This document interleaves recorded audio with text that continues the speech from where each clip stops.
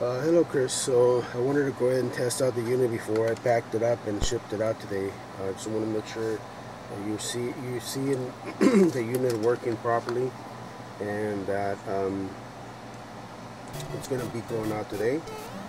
Um, uh, so once you receive it, um, or actually before you receive it, if you do have a multimeter um, if, if possible if you could check the voltages on the AC adapter uh, because it could be an issue with the AC adapter that's either pumping out too much voltage or um, it's dropping voltage and it's causing the unit to fail.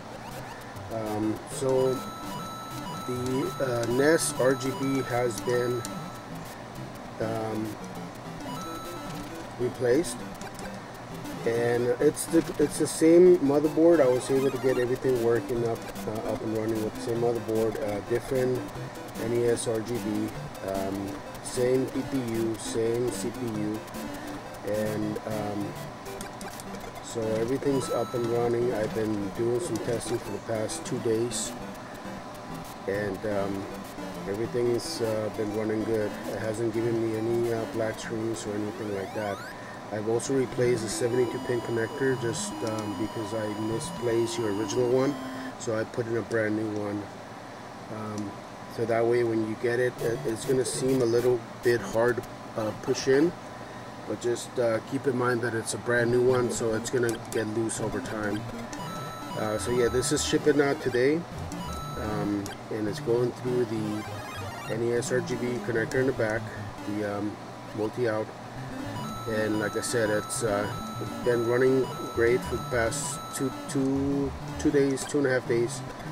And so if you do have any issues uh, hopefully you don't have any issues when you receive it. Uh, but if you can uh, test out that uh, AC adapter um, if you have a way to do it. If not uh, I would suggest to um, if you notice like if you try it and if you notice anything weird like like maybe the the image, you know, shrinking or anything like that, I would suggest to stop using that AC adapter you have and trying one that's, you know, properly um, either a different one or a brand new one or some or something that you know works that, that that's not going to have any issues.